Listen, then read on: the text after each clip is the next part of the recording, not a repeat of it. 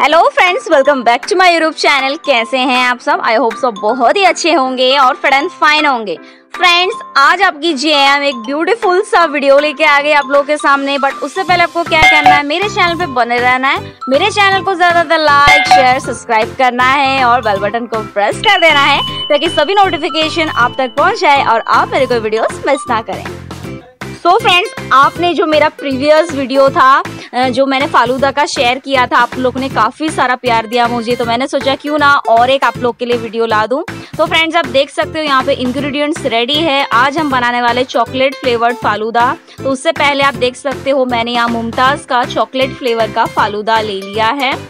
आप देख सकते हो ये जो पैकेट है इजीली मुमताज़ नाम है ये कंपनी का और काफ़ी अच्छा प्रोडक्ट है ये। देन आफ्टर मैंने ले लिया है मिल्क जो कि आप ले सकते हो। मिल्क जो है वो रेडीमेड मिल्क मिल जाएगा आपको। देन आफ्टर मैंने ले लिया है डेयरी मिल्क जो कि मुझे गार्निशिंग में काफ़ी हेल्प देगा। देन आफ्टर लिया मैंने जेली फ्लेवर्ड चॉकलेट आप देख सकते हो आइसक्रीम लिया है बटर स्कॉच फ्लेवर का। देन आफ्टर एलमोंड्स ले लिया मैंने गार्निशिंग के लिए और एक ग्लास ले लेना आपको, जो कि हमें गार्निशिंग के टाइम बहुत ही बेटर वाला इफ़ेक्ट देगा। और आप देख सकते हो फ्रेंड्स अभी जो है हमारा प्रोसेस हम स्टार्ट करते हैं। तो जो मैंने मिल्क लिया है, उसे मैं अभी गर्म करने रखूँगी। और उसके बाद जो भी स्टेप रहेगा, आप देखते रहिए और फन करिए फ्रेंड्स मैं तो इसी तरह ही बनाती हूँ, फालूदा। आप लोग किस तरह बनाते हैं, मुझे कमेंट ऑप्शन में शेयर कर सकते हैं। और ये जो है मिल्क को अच्छे से बॉईल कर लेना है। और ये जो फालूदा का पैकेट है, इसे कट आउट कर लेना आप लोग को। तो जो भी प्रोसेस रहेगा, आप मेरे साथ बने रहिए और देखते रहिए फ्रेंड्स और मुझे बताइए आपको यमी यमी फालूदा कैसा लग रहा है।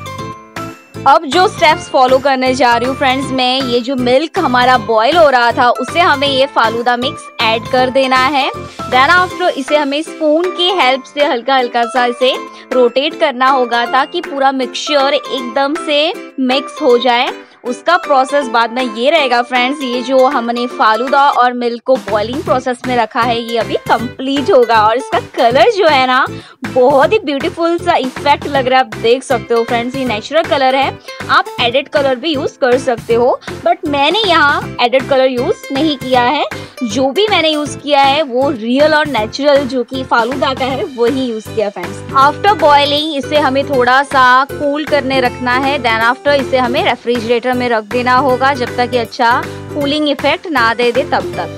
अभी हम लोग करेंगे फ्रेंड्स गार्निशिंग जो कि इम्पोर्टेंट पार्ट है हमारे वीडियो का। अभी मैं इसे डेरी मिल्क से कोटिंग करूँगी ग्लास को देन आफ्टर यूज़ करूँगी आइस क्यूब्स और जो हमारा फालूदा है उसमें ऐड करूँगी देन आफ्टर आइसक्रीम रहेगा।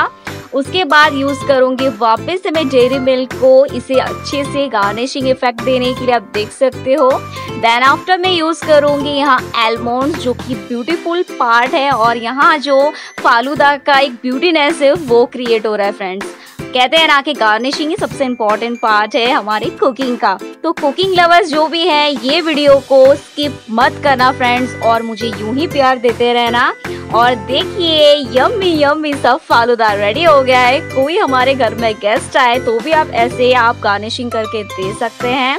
बहुत खुश हो जाएँगे दोबारा, वो वापस आपके घर विज़िट करना चाहेंगे। देन आफ्टर आपके घर में भी छोटे, बड़े इंजॉय करेंगे। काफ़ी यम्मी सा है, झटपट से बन जाता है। एक बार ट्राई करना तो बनता है फ्रेंड्स आज का वीडियो मेरा कैसा लगा? यम्मी यम्मी चॉकलेटी फालूदा। मुझे कमेंट ऑप्शन में शेयर करना मत भूलना। मेरे चैनल को लाइक शेयर सब्सक्राइब करना मत भूलना फ्रेंड्स फिर मिलती हूँ नेक्स्ट वीडियोस में। कुछ याद भरे मोमेंट्स के साथ। तब तक के लिए बाबा friends take care I love you all